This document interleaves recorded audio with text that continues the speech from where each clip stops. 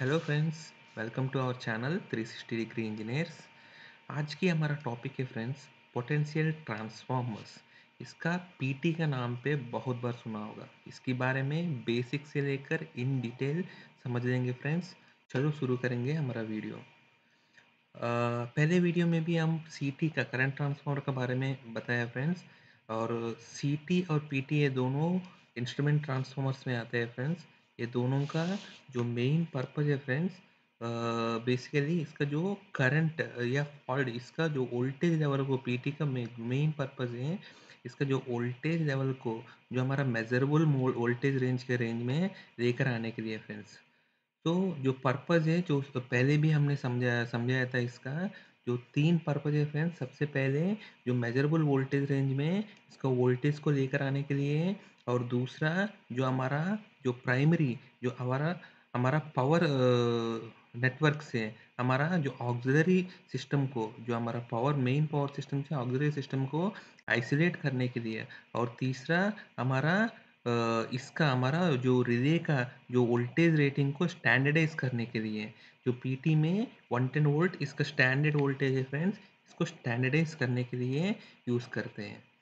ये हमारा instrument transformers का ब्रॉडली क्लासिफिकेशन है करंट ट्रांसफार्मर्स है, इसमें इलेक्ट्रोमैग्नेटिक सी टी है कमिंग टू वोल्टेज ट्रांसफार्मर्स है, इसमें इलेक्ट्रोमैग्नेटिक वी टी है और कैपेसिटर वोल्टेज ट्रांसफार्मर भी है फ्रेंड्स चलो शुरू करेंगे हमारा पीटी का वोल्टेज ट्रांसफार्मर इसका डेफिनेशन है फ्रेंड्स इसका जो प्राइमरी वोल्टेज है, इसका इन प्रोपोर्शनल टू प्रैक्टिकली इसकी प्रोपोर्शनली सेकेंडरी वोल्टेज इसको जनरेट करना है और उसी फ़ेज़ सीक्वेंस में जो प्राइमरी का जो फ़ेज़ एंगल है, उसी फ़ेज़ एंगल में इसको सेकेंडरी में रिफ्रैक्ट करना चाहिए फ्रेंड इसी को ही वोल्टेज ट्रांसफार्मर बोलते हैं।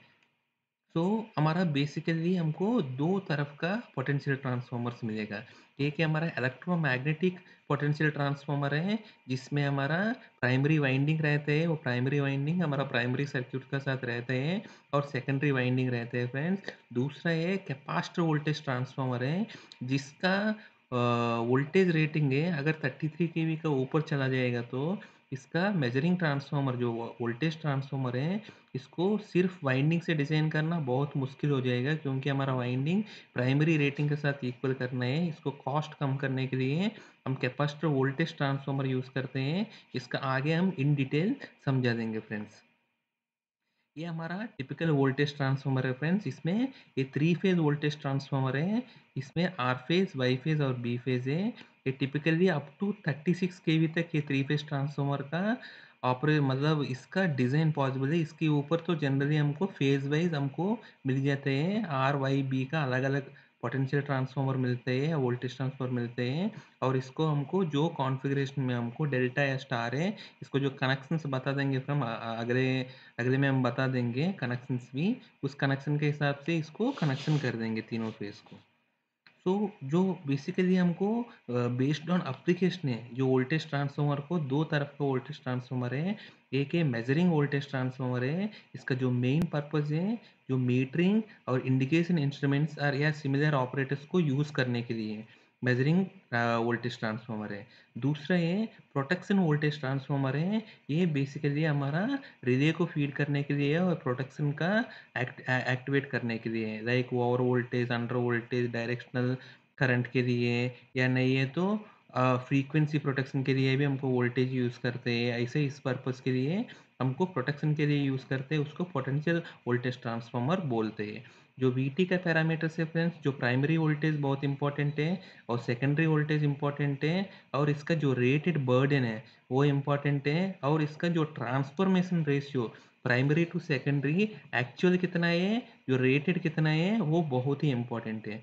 तो ये पैरामीटर्स जनरली हम देखते हैं पोटेंशियल ट्रांसफार्मर में, या इसको वोल्टेज ट्रांसफार्मर में। जो हम डिस्कस करेंगे फ्रेंड्स जो एरर्स ये पोटेंशियल ट्रांसफ़र में क्या क्या एरर्स हो सकते हैं? ये एरर्स होगा फ्रेंड्स एक रेशियो एरर होगा, दूसरा फ़ेज़ एंगल एरर है। इसको समझने के लिए पहले हम ट्रांसफार्मर का जो वोल्टेज ट्रांसफार्मर है, इसका इक्विवेलेंट सर्क्यूट ड्रा करेंगे फ्रेंड्स जो वोल्टेज ट्रांसफार्मर या करंट ट्रांसफार्मर दोनों ट्रांसफार्मर जैसे है फ्रेंड्स लेकिन ये मतलब करंट ट्रांसफार्मर क्या करते हैं? करंट को स्टेप डाउन करते हैं वोल्टेज ट्रांसफार्मर वोल्टेज को स्टेप डाउन करते हैं फ्रेंड्स बस इतना ही फ़र्क पड़ता है ये दोनों में। लाइक आप समझ लीजिए पोटेंशियल ट्रांसफार्मर है स्टेप डाउन ट्रांसफॉर्मर है करंट ट्रांसफार्मर है स्टेप अप ट्रांसफार्मर है फ्रेंड्स इनडायरेक्टली वोल्टेज का स्टेप अप ट्रांसफार्मर है। ये अभी इसका इक्विलेंट सर्किट देखेगा तो ट्रांसफार्मर का इक्विलेंट सर्किट जैसे ये हमारा प्राइमरी वाइंडिंग है, ये हमारा कोर है, ये सेकेंडरी वाइंडिंग है। और प्राइमरी वाइंडिंग को सेकेंडरी वाइंडिंग में हमने रेफर कर दिया था, ये प्राइमरी का रेसिस्टेंस सेकेंडरी प्राइमरी वाइंडिंग का इंडक्टेंस और ये हमारा मैग्नेटाइजिंग सर्क्यूट है प्राइमरी का, ये हमारा सेकेंडरी का रेसिस्टेंस है और सेकेंडरी वाइंडिंग का इंडक्टेंस या इंडक्टिव रिएक्टेंस है और ये हमारा वोल्टेज ट्रांसफार्मर के ऊपर जो बर्डन है, वो बर्डन है मतलब जो लोड है वो हमारा बर्डन है फ्रेंड्स अभी इसका वेक्टर फेजर डायग्राम हम ड्रा करेगा तो फ्रेंड्स हमको क्लियरली समझ में आ जाएगा। ये फेजर डायग्राम है फ्रेंड्स, हमको इसमें जो पोटेंशियल ट्रांसफार्मर में, इनफैक्ट कोई भी ट्रांसफार्मर में, हमको फेजर डायग्राम ड्रा करने के लिए हमको सबसे पहले क्या हमको पता है फ्रेंड्स, हमको इस ट्रांसफार्मर में एक ही चीज़ पता है हमको जो सेकेंडरी वोल्टेज है। सेकेंडरी वोल्टेज मतलब जो लोड वोल्टेज है वो हमको पता है और इसका जो लोड एंगल है, जो मतलब जो लोड का करंट है वो हमको पता है और लोड का पावर फैक्टर पता है। तो हमको हमेशा कोई भी ट्रांसफार्मर में सबसे पहले रेफरेंस डायग्राम में ये हमको वोल्टेज सेकेंडरी वोल्टेज ड्रा करना है वीएस और इसका कितना फ़ेज़ एंगल में, जो लोड फ़ेज़ एंगल में सेकेंडरी करंट ड्रा करना है फ्रेंड्स इसके बाद हमको पता है ये हमारा 90 डिग्रीज में इसका इंडक्टिव रिएक्टेंस है, जो आई एस एक्सेस से जितना भी ड्रॉप आ रहा है, उसका ये ड्रा करना है, इसका करंट का इन फ़ेज़ में हमारा रेसिस्टिव वोल्टेज ड्रॉप को ड्रा करना है फ्रेंड्स तो हम ये दोनों को सेकेंडरी वोल्टेज है ना फ्रेंड्स इस वेव फॉर्म में अगर सेकेंडरी वोल्टेज से प्लस इसका ड्रॉप इसका ड्रॉप ऐड करेगा तो हमारा सेकेंडरी वाइंडिंग का इंड्यूस्ड वोल्टेज आ जाता है फ्रेंड्स इंड्यूस्ड वोल्टेज आ जाता है ई एस ठीक है फ्रेंड्स इंड्यूस्ड वोल्टेज आ जाते हैं। जैसे ई एस आ गया तो इसका एग्जैक्ट ऑपोजिट डायरेक्शन में हमको ई पी आ जाते हैं प्राइमरी इंड्यूस्ड वोल्टेज है।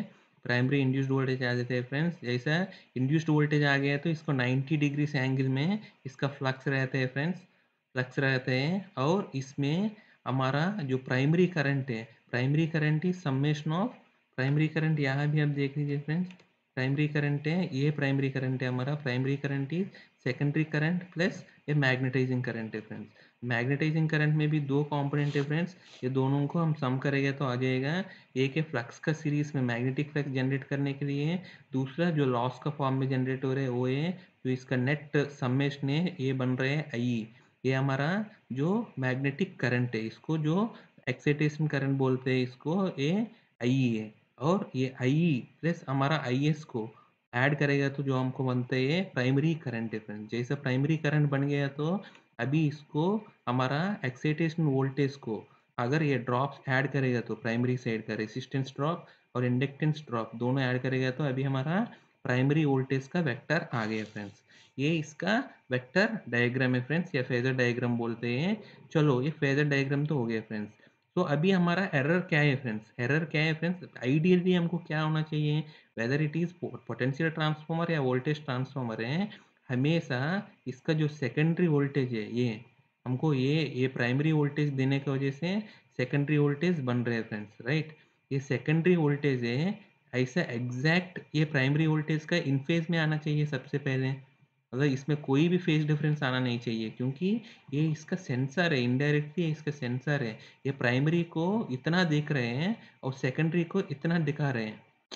ठीक है friends transformer one eighty degrees का फ़ेज़ डिफरेंस रहता है इसीलिए आपको ऐसे बता रहा हूँ मैं। सो so, इसको इन्वर्ट कर दीजिए ये हमको एक्चुअली जो दिख रहा था रिले में।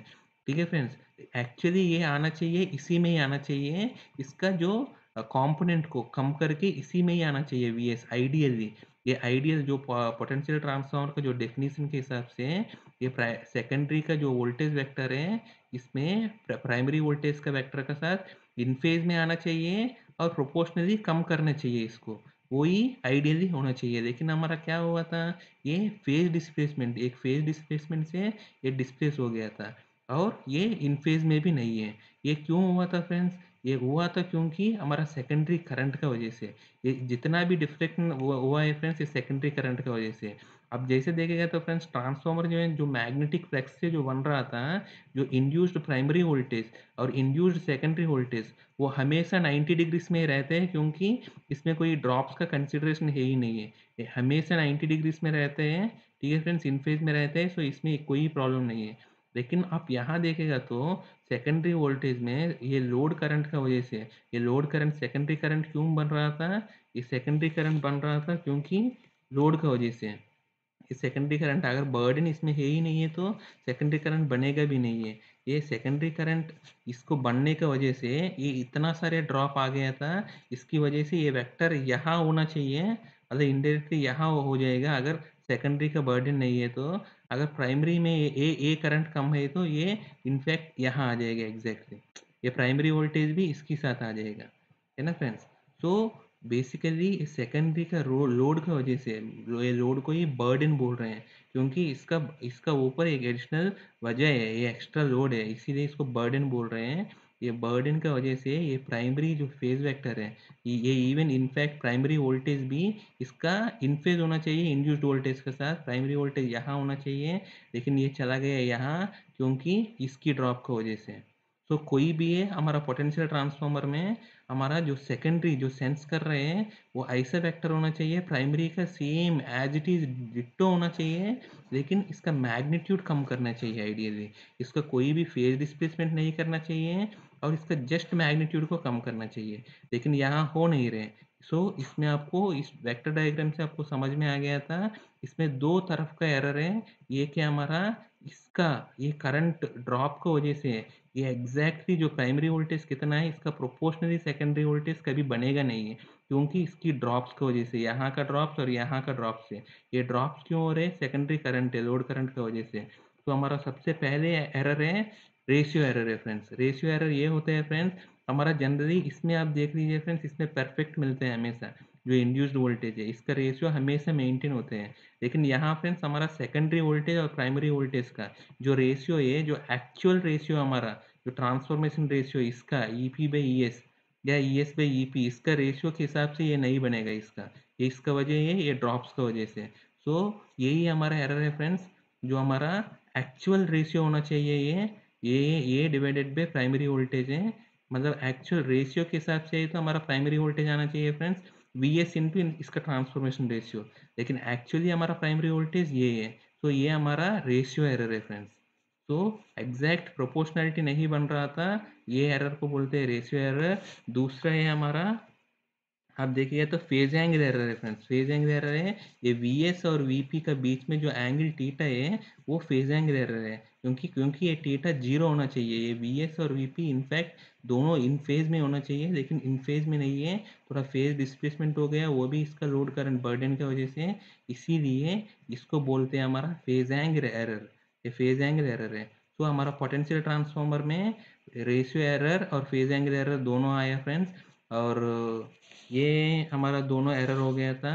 अभी हमें फ्रेंड्स मेजरिंग वोल्टेज ट्रांसफार्मर का जो आईईसी स्टैंडर्ड में, इसका जो क्लास है, ऐसे एक्यूरेसी क्लास डिफाइन किया गया है फ्रेंड्स डिफरेंट क्लासेस है point one point two point five one three है फ्रेंड्स इसका जो रेशियो एरर और फ़ेज़ एंगल एरर का लिमिट भी दिया गया था। अगर आप पॉइंट वन क्लास है मतलब इसका रेशियो एरर है plus or minus point one है। जनरली आपको जो रेशियो एरर है, उसी का ही इसका एक्यूरेसी क्लास का नंबर दिया गया था। जो आपका रेशियो एरर पॉइंट टू है तो plus or minus point two है ऐसे ये रेशियो एरर थ्री है तो प्लस आर माइनस थ्री है फ्रेंड्स सो ऐसा फ़ेज़ डिस्प्लेसमेंट भी दिया फ्रेंड्स ये हमारा फ़ेज़ एरर है। ये plus or minus five minutes है, जो हमको एंगल को क्लॉक में हम समझाएगा तो ये मिनट्स में दिया था। ऐसे फ्रेंड्स तो ये हमारा लिमिट्स दिया गया था क्लियरली कितना कौन सी क्लास में क्या होना चाहिए। ये बेसिकली हमारा एक्यूरेसी क्लास कभी भी मेंशन करते हैं आपको। मैं करंट ट्रांसफॉर्मर्स का वीडियो में भी बता गया था। एक्यूरेसी क्लास कभी भी मेंशन करते हैं। मतलब ये मेज़रमेंट ट्रांसफॉर्मर है। ये मेजरिंग ट्रांसफ़र ये हमारा मेज़रमेंट पर्पस के लिए जो यूज़ कर रहे हैं मेजरिंग पीटी है ये मेजरिंग पीटी और मेजरिंग वीटी में ये इसका रेंजेस है एज पर आईईसी का स्टैंडर्ड में दिया गया है, इसको मेंटेन करना चाहिए ओ e को और इसके हिसाब से हम सिलेक्शन करते हैं, क्या लेना है। और प्रोटेक्शन ट्रांसफॉर्मर में तीन ही, दो ही तरफ़ का होता है फ्रेंड्स एक three P accuracy class three P class है और एक सिक्स पी क्लास है। थ्री पी क्लास में plus or minus three percent का रेशियो एरर होता है और सिक्स पी क्लास में plus or minus six percent का रेशियो एरर होते हैं। और इसका फ़ेज़ एंगल एरर होते हैं फ्रेंड्स ये plus or minus one twenty percentage में होगा ये। Plus or minus one twenty percent है या सिक्स पी में plus or minus two forty percentage है फ्रेंड्स ये पोटेंशियल ये प्रोटेक्शन का वोल्टेज ट्रांसफॉर्म में ये इसका लिमिट है फ्रेंड्स एज पर आई का स्टैंडर्ड है। और जो हमारा मैक्सिमम वोल्टेज जो पीटी का पोटेंशियल ट्रांसफार्मर का, इसका वोल्टेज जो मैक्सिमम कितना कैरी करना चाहिए, वो भी क्लियरली स्टैंडर्ड में मेंशन किया गया है फ्रेंड्स ये पहले इसका कंटिन्यूस जो वोल्टेज रेटिंग है बिटवीन फेजेस में या लाइन टू लाइन है, इसका 120 परसेंट है. जो 1.2 टाइम्स ऑफ़ इसका फ़ेज़ वोल्टेज है ये तो 1.2 टाइम्स ऑफ़ इसका लाइन वोल्टेज है, ये कंटिन्यूसली इसका रेटेड होना चाहिए फ्रेंड्स हमारा potential transformer potential transformer continuously इसका रेटेड होना चाहिए। लेकिन अगर इसका शॉर्ट टाइम रेटिंग है, जो कितना है, वो डिपेंड्स ऑन इसका जो टाइप ऑफ़ इसका सिस्टम ग्राउंडिंग का बेसिस में हमारा डिफाइन किया गया फ्रेंड्स सो 1.2 टाइम्स तो अगर सॉलिडली एर्थेड सिस्टम है ये मतलब परफेक्टली एर्थेड सिस्टम है सॉलिड एर्थेड सिस्टम है, इसमें 1.2 टाइम्स तो कंटिन्यूस है, सारे सिस्टम में होना चाहिए। 1.5 टाइम्स का वोल्टेज है, ये 30 सेकंड्स तक। कैरी करना चाहिए फ्रेंड्स थर्टी सेकेंड्स तक 1.5 टाइम्स का वोल्टेज ये कैरी करना चाहिए in case of solidly grounded system है अगर इन केस ये लो रेसिस्टेंस या हाई रेसिस्टेंस ग्राउंडेड सिस्टम है तब हमको 1.9 टाइम्स तक वोल्टेज है ये 30 सेकेंड्स तक कैरी करना चाहिए फ्रेंड्स ओके? हमारा potential transformer 1.9 times of voltage 30 second तक कैरी करना चाहिए. अगर in case of ungrounded system है अगर अनग्राउंडेड सिस्टम में यही 1.9 टाइम्स का वोल्टेज को आठ घंटे तक ये कैरी करना चाहिए without any damage to the voltage transformer या इसका स्विच गेयर है, या इसका जो स्विच गेयर पैनल है, या कोई ऑपरेटिंग पर्सनल या ऑपरेटर है वहाँ है, इसको बिना डैमेज करके इतना को मेंटेन करना चाहिए, इतना को ये विथस्टैंड करना चाहिए फ्रेंड्स चलो, अभी हम देख लेंगे फ्रेंड्स जो वोल्टेज ट्रांसफार्मर्स है, जो प्रोटेक्शन के लिए यूज़ करते हैं, वो अगर जो मेज़रमेंट के लिए यूज़ करते हैं, ये सिंपल स्टार स्टार कनेक्शन ही होते हैं फ्रेंड्स हमेशा। Star star with grounding on both sides होते हैं, वो, लेकिन जो प्रोटेक्शन के लिए यूज़ करते हैं फ्रेंड्स जो, वो तो डिफरेंट कनेक्शन हो सकते हैं। सबसे पहले कनेक्शन है star star with grounding both side से वो तो हो ही सकते हैं हमेशा। दूसरा कनेक्शन है फ्रेंड्स रेसिडुअल वोल्टेज है। जिसमें हमको अनग्राउंडेड सिस्टम है। या नहीं है तो जिसमें हमको अगर अर्थ फॉल्ट देखने हैं वोल्टेज के हिसाब से, उस केस में हमको ऐसा कनेक्शन यूज़ करते हैं फ्रेंड्स रेसिडुअल वोल्टेज है, इसमें प्राइमरी है स्टार पॉइंट विथ ग्राउंड है सेकेंडरी में क्या करते हैं, सारे को सीरीज़ में बना के रेसिडुअल वोल्टेज देखते हैं। हमको ऑलरेडी पता है हमारा थ्री फ़ेज़ बैलेंस्ड सिस्टम में आर फेस वोल्ट का वोल्टेज वाई फेस का वोल्टेज बी फेस का वोल्टेज हमेशा हमेशा ज़ीरो रहते हैं। तो नॉर्मल कंडीशन में रेसिडुअल वोल्टेज ज़ीरो ही रहते हैं, तभी अगर सिस्टम में कोई अर्थ फॉल्ट हुआ, तब हमारा जो रेसिडुअल वोल्टेज है, ये बनता है, क्योंकि तीनों फ़ेज़ का वोल्ट सम्मेशन तब ज़ीरो नहीं बन सकते हैं। तब हमको रेसिडुअल वोल्टेज आते हैं, इसके बेसिस में हमको अर्थ फॉल्ट का डिटेक्शन कर सकते हैं। जो अर्थ फॉल्ट का केस में इस कनेक्शन को यूज़ करते हैं फ्रेंड्स नेक्स्ट है हमारा कैस्केड कनेक्शन है फ्रेंड्स किसी किसी ट्रांसफ़र किसी किसी एप्लीकेशन में क्या करते हैं सर हम कैस्केड में कनेक्शन कर देते हैं इसको। मतलब इसका आप देख लीजिए ऐसे कैस्केड कैस्केड में कनेक्शन किया गया है फ्रेंड्स। इसमें जो प्राइमरी वाइंडिंग है, क्या किया फ्रेंड्स? सीरीज़ में बनाया था। प्राइमरी वाइंडिंग को सीरीज़ में बनाया था।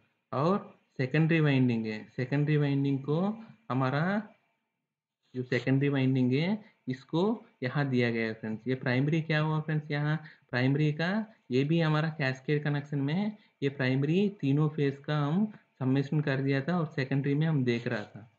ठीक है, फिर अगर थ्री फ़ेज़ का कनेक्शन में तो। ये सी है कपलिंग वाइंडिंग है फ्रेंड्स इसका थ्री फ़ेज़ जो ज़ीरो सीक्वेंस करंट को कैरी करने के लिए ये सी फ़ेज़ का कपलिंग वाइंडिंग यूज़ करते हैं। तो ऐसे भी कनेक्शन हमको कैस्केड वोल्टेज ट्रांसफॉर्मर भी हमको दिखने में लगते हैं फ्रेंड्स प्रोटेक्शन ट्रांसफॉर्मर्स में।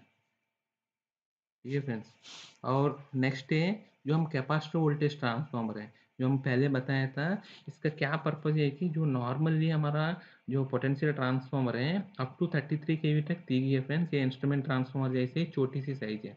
लेकिन अगर 33 के वी का ऊपर हम लेकर जा रहे हैं हमारा वोल्टेज ट्रांसफार्मर को फॉर एग्ज़ाम्पल ये 220 के वी का ट्रांसफार्मर है तो हम 220 के वी में सेकेंडरी तो फिक्स है 110 वोल्ट है।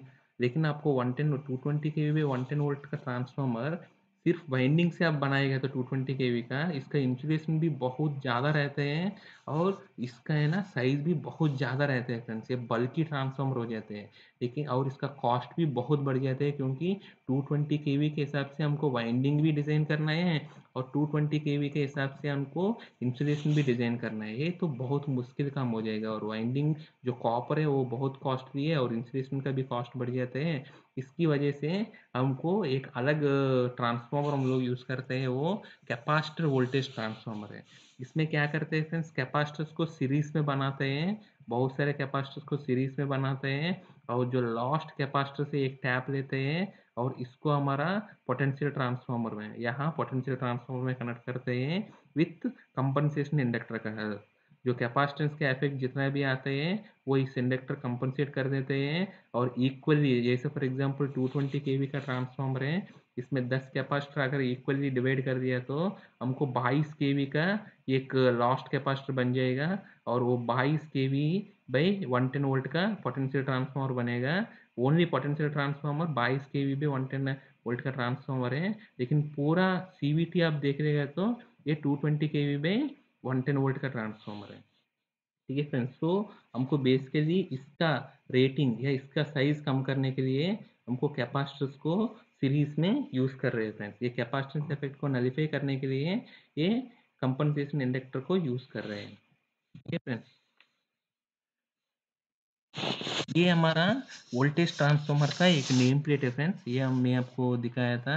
ये हमारा एयर नेचुरल मतलब ये टाइप ऑफ़ ये और इसका जो दिखा गया था, ये सॉलिडली एर्थर सिस्टम है, इसीलिए 1.5 volt 1.5 times of rated voltage को ये 30 सेकंड तक कैरी कर सकते हैं। ठीक है फ्रेंड इसका वी ए बर्डन है 100 है 100 वी ए बर्डन है इसका। और इसका एक्चुअली ये दो वाइंडिंग का ट्रांसफॉर्मर है मतलब दो कोर का है। एक है मेज़रमेंट क्लास वन वन का क्लास है और दूसरे है सिक्स पी है प्रोटेक्शन क्लास एक प्रोटेक्शन कोर है इसमें और ये मेज़रमेंट कोर है। मेज़रमेंट कोर का इसका एक्यूरेसी क्लास है वन है और प्रोटेक्शन का इसका एक्यूरेसी क्लास सिक्स पी है फ्रेंड्स सो सिक्स पी मतलब plus or minus six percent तक रेशियो एरर को अलाउ कर सकते हैं। और इसका फ्रीक्वेंसी है फिफ्टी हर्ज है फ्रेंड्स और फ्रीक्वेंसी है और इसका जो प्राइमरी वोल्टेज है four fifteen volt by root three है। मतलब फोर फिफ्टीन वोल्ट है, इसका प्राइमरी वोल्टेज है। और इसका सेकेंडरी वोल्टेज है फ्रेंड्स वन टेन वोल्ट है। वन टेन वोल्ट है, इसका सेकेंडरी वोल्टेज है। और इसका जो परचेज ऑर्डर का इसका नंबर दिया गया था, और इसका ईयर ऑफ़ मैनुफैक्चर और इसका सीरियल नंबर भी दिया गया था, ठीक है फ्रेंड्स और ये इसका आई स्टैंडर्ड है फ्रेंड्स इसका आई स्टैंडर्ड है थ्री वन फाइव सिक्स 1978 का वोल्टेज ट्रांसफॉर्मर का इसका जो अप्लीकेबल स्टैंडर्ड है, जिसके हिसाब से इसका बनाया था, जिसके हिसाब से इसको टेस्ट किया था, उसकी ट्रांसफॉर्मर के बारे में मतलब इसका आई स्टैंडर्ड के बारे में भी यहाँ दिया गया है फ्रेंड्स ये हमारा पोटेंशियल ट्रांसफॉर्मर का वीडियो है फ्रेंड्स हमारे साथ और मोर इंटरेस्टिंग वीडियोस को बनाने के लिए हमारे साथ बनाते रहिए।